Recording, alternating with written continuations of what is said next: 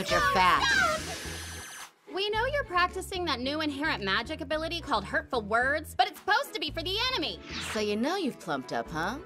Uh, you know they call me Glamorous Shirley, right? It's my voluptuous figure. I've always had a little extra. I hope you two are ready. Fattening us up to eat? What the heck is this, Hansel and Gretel? Maybe she could just cut off your excess fat and then heal you two.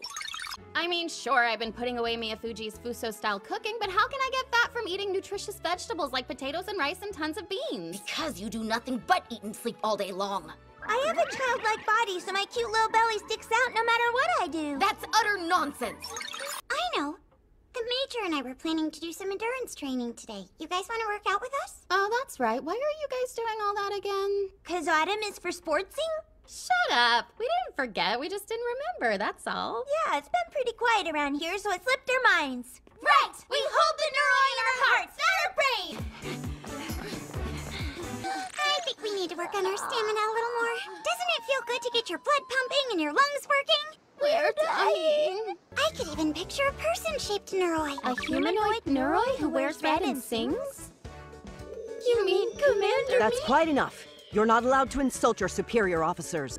I can't. We're in peak yam harvesting season. You're seriously growing yams in your room? Is that where those yam fries came from? I feel sick. I don't know why I'm like this, but I can't help it. Why, Lynne, why? I'm sorry. I thought it was our neuroi role play. She's terrifying. It's trick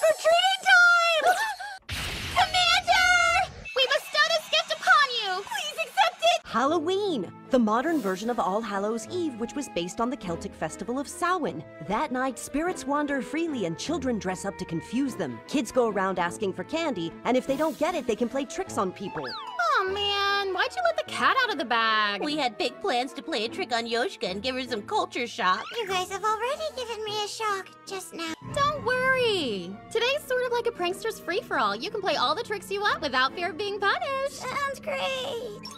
All right, now hold out your hand. Oh, you don't have any candy, you say? Well, you know what that means. Watch and learn. Those who pretend to be perfect are often the most devious. Both tricks and treats are welcome today. I'm honored to teach you the customs, Major. Huh? Major? Come in. I'll make you some tea. It makes sense to be prepared in light of the risks. Hold on a second, you're 18! You're totally too old to be trick-or-treating! Halloween is for kids! You should be ashamed of yourself! Welp, you heard him, Commander. Ah! No! Hartman, why? She's not talking! Barkhorn, go get help! What's this? Wait, where'd she go? Gotta get them before they get you.